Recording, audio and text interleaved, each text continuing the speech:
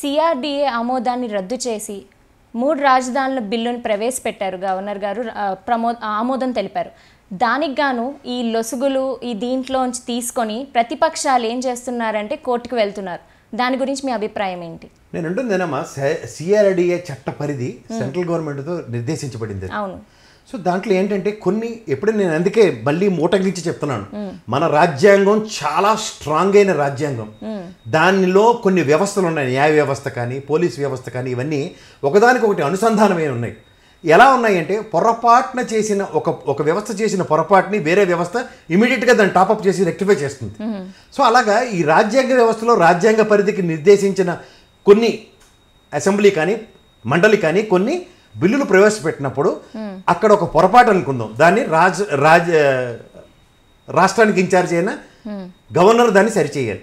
దాన్ని సరిచేయని వ్యవస్థలో మనం ఉన్న పరిస్థితిని కోర్టు దాన్ని ఓవర్కమ్ చేసి కోర్టు సరిదిద్దుతుంది. అది నేను చెప్పేది. ఇప్పుడు మారుతున్న విద్యా విధానాల్లో పవన్ కళ్యాణ్ గారి సలహాలు సూచనలు తీసుకున్నారు. ఇంకా దానికన్నా ఇప్పుడు ప్రస్తుత రాజకీయాలు ప్రతిపక్ష నాయకులు ఉన్నారు. వాళ్ళ సూచనలు కాకుండా పవన్ కళ్యాణ్ సూచనలు తీసుకోవడం పట్ల మీ అభిప్రాయం ఏంటి?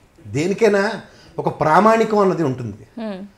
చదువుకు సంబంధించిన నిర్ణయాలు చదువుకున్న వాళ్ళు తీసుకుంటే చాలా బాగుంటుంది. ఇప్పుడు ఉదాహరణకి పివి నరసింహరావు గారు అనే మహనీయుడు విద్యాశాఖ అన్నదాన్ని మానవ వనరుల శాఖ కింద మార్చాడు.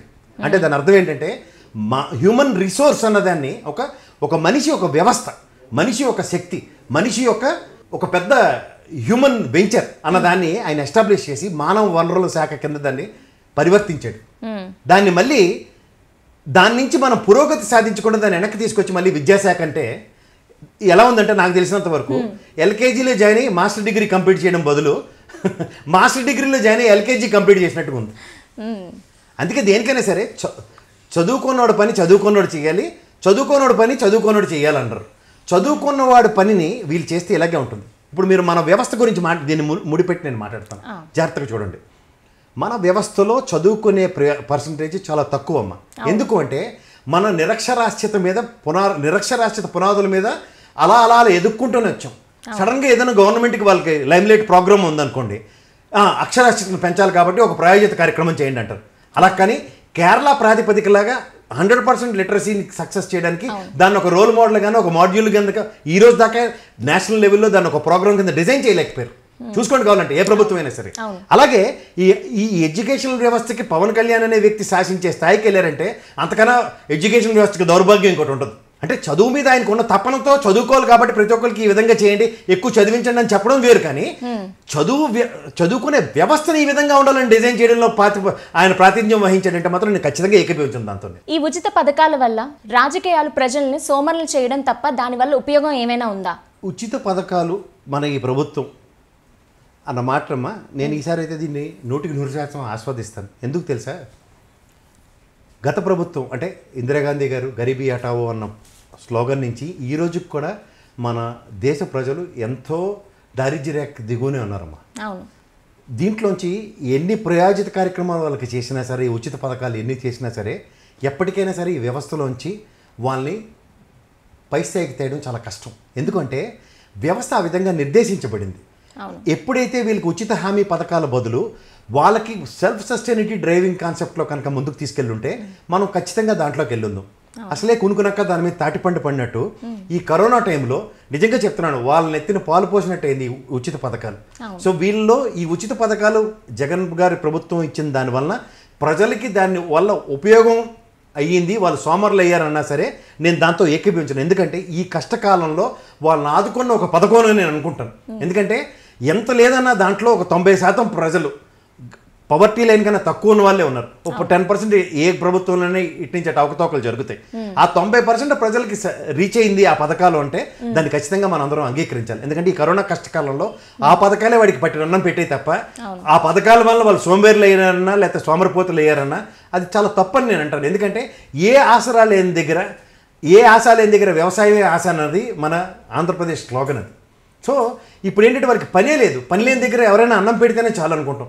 పని ఆహారం లేక ఎంతమంది వలస కార్మికులు రోడ్ల మీద పడి చచ్చిపోయారో మనం చూస్తూనే చూస్తూనే ఉన్నాం. చూసాం కూడా. అది మన సజీవ తార్కాణం.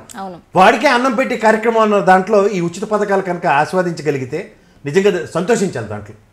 ప్రస్తుతానికి అది దాన్ని సోమరులు చేసే చర్యని మాత్రం దయించి అనకండి ఎందుకంటే ఈ కరోనా కష్టకాలంలో ఆ పథకాలే కొస్త వాళ్ళకి చేయూతనిస్తున్నాయి. ఎందుకంటే వాళ్ళు ఇచ్చిన ఆటో డ్రైవర్ల పథకాలు కానీ ఇవన్నీ వాళ్ళకి ఎవరికి ఆ వ్యవస్థలో ఆటో వ్యవస్థే నడవలేదు కదా. సో వాళ్ళకి ఏదో ఒక చేయూత ఇచ్చినట్టే కదా. ఉదాహరణగా చెప్తున్నాను నేను. అంచేత నేను దాని మీద నెగిటివ్ కామెంట్ అయితే చేయదలుచుకోలేదు. ఏపీలో వాలంటీర్ వ్యవస్థ ఎంతవరకు సహాయపడుతుంది అంటారు వాలంటీర్ వ్యవస్థే సహాయం చేయడానికే కదమ్మా. సహాయం చేసే వ్యవస్థ సహాయమే చేయాలి.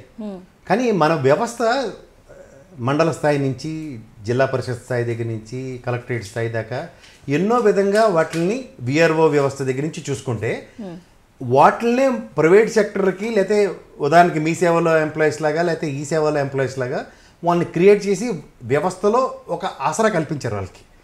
ఈ కష్టకాలంలో వాళ్ళకి ఉపాధి కింద వాళ్ళు పనిచేస్తున్నారంటే అది సక్రమంగా నిర్వర్తించినంత కాలం చాలా బాగుంటుంది. ఏ వ్యవస్థలో అయినా అవకతవకలు సర్వసాధారణం అమ్మ కానీ వాళ్ళు నిర్దేశించిన ప్రా పథకానికి తప్ప వేరే వాటిని వాడుకుంటూ దాంట్లోంచి కాన్సెప్ట్ డ్రైవ్ మిస్లీడ్ అయితే మాత్రం ఖచ్చితంగా పర్యవసనాలు వేరేగానే ఉంటాయి. వాళ్ళ పని వాళ్ళని చేయనిస్తే వాళ్ళకి నిర్దేశించిన ప్రణాళిక ప్రకారం వాళ్ళు ఏ పనులు చేయాలో అవి ఇస్తే ఒక యాభై ఏళ్ళకి ఒక మనిషిని చెప్పున నిర్దేశించారు. వాళ్ళు చేయవలసిన పని డిజైన్ ప్రోగ్రామ్ కనుక సక్రమంగా చేస్తే దాంట్లో ఏ విధంగానూ లోటుపాట్లు ఉండవు. కానీ వాళ్ళు నిర్దేశించిన పనుల బదులు వేరే విధంగా పనులు చేస్తే మాత్రం ఖచ్చితంగా దానివల్ల వచ్చే రెప్రికేషన్స్ వేరేగా ఉంటాయి. ఏపీలో బీజేపీ కార్యాచరణ ఎలా ఉండబోతుంది? రాష్ట్రాన్ని నిట్ట నిలువుగా కేకును కోసినట్టు కోసిన కాంగ్రెస్ ప్రభుత్వానికి కానీ బీజేపీ ప్రభుత్వానికి కానీ రాష్ట్రం మీద హక్కు సంతరించుకునే హక్కు అర్హత లేదు. కానీ ప్రజెంట్ వ్యవస్థలు ఎలా నడుస్తున్నాయంటే ప్రజల చేత ఎన్నుకోబడిన ప్రభుత్వాల బదులు మిషన్ల చేత ఎన్నుకోబడి ప్రభుత్వాల కింద ఉన్నాయి అవి. సో మన చేతిలో లేనంతకాలం అవి జరిగే పరిణామాల్ని మన చేతిలో లేవు. ప్రజాస్వామ్య వ్యవస్థలో ప్రజల చేత ఎన్నుకోబడిన ప్రభుత్వాలు ఏ విధంగా ఉంటాయి అన్నదానికి గత ప్రభుత్వాలు మనం తార్కాణంగా తీసుకోవచ్చు. కానీ ఇక్కడ ప్రజాస్వామ్య వ్యవస్థలో అహంకారపూరితమైన ధోరణితో వాళ్ళు చేసినవి ఏవైనా సరే అవి రైట్ అని ప్రజల మీద రుద్దడానికి జరి నిర్వర్తించబడుతున్న గవర్నమెంట్ల కింద తీసుకోవచ్చు ఇవి. ఉదాహరణకి ఇక్కడ తెలంగాణ రాష్ట్ర సమితి గవర్నమెంట్ తీసుకోవచ్చు అక్కడ రాజశేఖర రెడ్డి గారి అబ్బాయి గవర్నమెంట్ అని తీసుకోవచ్చు వైఎస్ఆర్సీపీ గవర్నమెంట్ అనుకోవచ్చు అక్కడ సెంట్రల్లో ఉన్న బీజేపీ గవర్నమెంట్ అని అనుకోవచ్చు. వాళ్ళు ప్రజాభిప్రాయంకి భిన్నంగా కాబట్టి చూడండి డిమానిటైజేషన్ అన్న దాని వల్ల వ్యవస్థలు ఎన్ని వ్యవస్థలు కుంటుపడ్డాయి చూడండి. దాని రిప్రకేషన్ అన్నది ఎక్కడా లేదా? తర్వాత కొన్ని రెస్పెక్టివ్ స్టేట్స్ తీసుకుందాం రాజస్థాన్కి తీసుకుందాం లేదంటే మధ్యప్రదేశ్ తీసుకుందాం లేకపోతే ఎక్కడో దగ్గర ఆ గవర్నమెంట్లు గెలిచారు కదా వాళ్ళు అవును గెలిచిన ప్ర ప్రభావమే లేకుండా జీరో సీట్లతో వాళ్ళు సెంట్రల్ గవర్నమెంట్లో బీజేపీ గవర్నమెంట్ ఫామ్ చేసిందంటే అది నిజంగా చాలా ఆశ్చర్యానికి గురవ్వాల్సిన విషయం Hi, this is Pradeep Machraju. Please subscribe to Mirror TV. I'm Ankita Maharana. Please like, share, subscribe Mira TV. Thank you.